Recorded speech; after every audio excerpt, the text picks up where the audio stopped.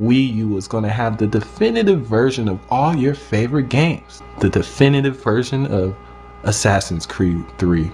The definitive version of whatever Call of Duty comes out. The definitive version of whatever Battlefield comes out. The definitive version of Resident Evil 6. The definitive version of Grand Theft Auto 5. A Nintendo system is going to have the best version of your favorite. Exposed.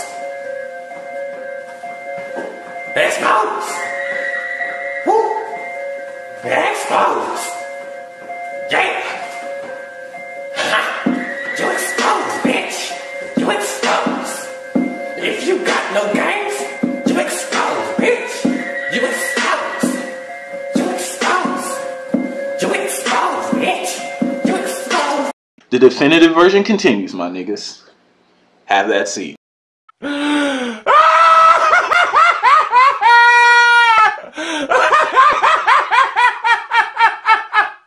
Guess what?